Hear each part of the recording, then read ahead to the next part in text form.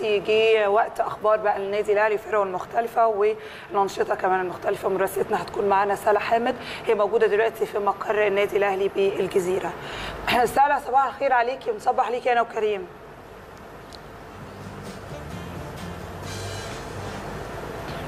يا صباح الخير بصبح عليكي زميلتي نهاوند وزميلي كريم وعلى كل مشاهدي ومتابعي شاشة قناة النادي الأهلي في كل مكان.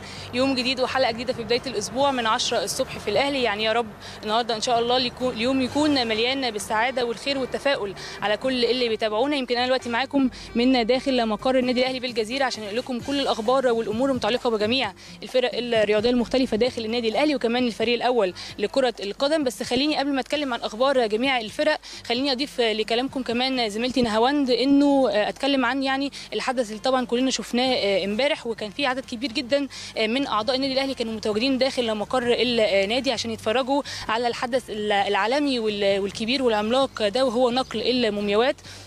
يمكن الكل كان متواجد يعني بكثافة هنا داخل النادي الأهلي عشان يتفرج على الحدث ده. كانت الأجواء أكثر من رائعة. وكمان الكل كان فخور يعني إنه حدث زي ده بيحدث هنا على أرض مصر. كمان إدارة الخدمات تحت إشراف الأستاذ محمد الألفي كانوا يعني مجهزين الأماكن والكراسي عشان الكل يبقى عنده الإمكانية والفرصة إن هو يتفرج على الحدث ده. يعني كانوا مجهزين جميع الشاشات شاشة العرض شاشة الرئيسية وكمان الشاشات الأخرى عشان الكل يتفرج. كمان يعني يعني الكل كان بيتكلم على قد إيه هو يعني الحدث ده يدعو للفخر وإن هو توثيق هام جدا لتاريخ مصر العظيم.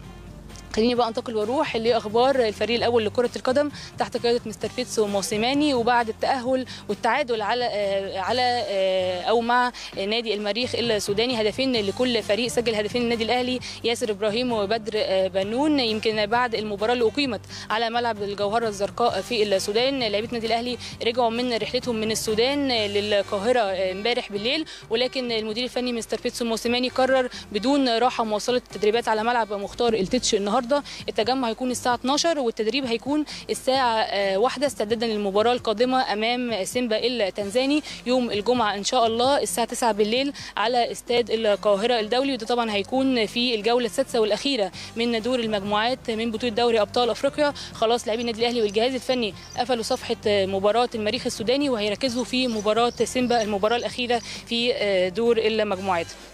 خليني بقى انتقل وأروح لأخبار الألعاب الأخرى. ويعني خليني أقول لك زميلتي نهاوند وزميلي كريم إنه يوم الجمعة الماضية كان يعني يوم جميل لكل مشجع أهلاوي كان يوم مليان بالانتصارات والفوز في جميع الألعاب الأخرى. ويعني خليني أبتدي بكرة السلة ورجال السلة تحت قيادة الكابتن أشرف توفيق. يمكن رجال السلة فازوا على نادي سموحة بنتيجة 95 85 ويعني المباراة اللي شفناها طبعا كلنا وشفنا تألق كبير جدا من لاعبي النادي الأهلي زي مودي الجرحي كابتن الفريق إيهاب أمين وهو يعني سجل 27 نقطة في المباراة كان ال top scorer في مباراة سموحة. كمان أليكس يونج عمر طارق وكمان عمرو الجندي. كل اللعيبة دي تالقوا في المباراة. وكمان المباراة يعني شهدت عودة معظم الغيابات زي إبراهيم الجمال وكمان أحمد حمدي.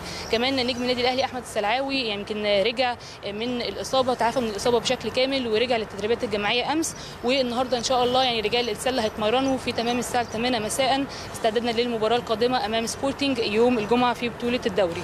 وسيدات السلة امبارح اتمرنوا يعني تمرين خفيف في الجيم الساعة 9 الصبح عشان يستعدوا لمباراة اليوم أمام الشمس في أول مباراة لهم يعني في الدور الثمانيه the best of 3 طبعا. يعني عارفين طبعا النادي الأهلي هيلعب ثلاث مباريات مع نادي الشمس. لو فاز أول مباريتين مفيش داعي إن هو يلعب ثالث مباراة وهيكونوا تأهلوا لدور الأربعة. النهارده إن شاء الله المباراة هتكون على صالة الشهداء بمقر النادي الساعة 8 كمان خليني قبل ما أختم معاكي زميلتي نهاوند وزميلي كريم كمان كرة الطايرة سيدات ورجال يوم الجمعة الماضية فرحونا وفازوا على يعني رجال الطايرة فازوا على نادي بتروجيت بثلاث أشواط مقابل لا شيء وسيدات الطايرة فازوا على نادي أصحاب الجياد بثلاث أيضا أشواط مقابل لا شيء والفرقتين هيستعدوا إن شاء الله بكرة عشان يواجهوا نادي هليوبلس رجال الطايرة وسيدات الطايرة هيواجهوا بكرة إن شاء الله هليوبلس على صالة هليوبلس الشروق رجال الطايرة الماتش هيكون الساعة 8 وسيدات الطايرة هيكونوا الساعة 6 يعني دي أنا هواند وكريم كانت أبرز وأهم الأخبار والأمور كلها المتعلقة بجميع الفرق الرياضية المختلفة داخل النادي الأهلي. والآن العودة مرة أخرى للاستوديو. كلمة ليك يا هواند تفضلي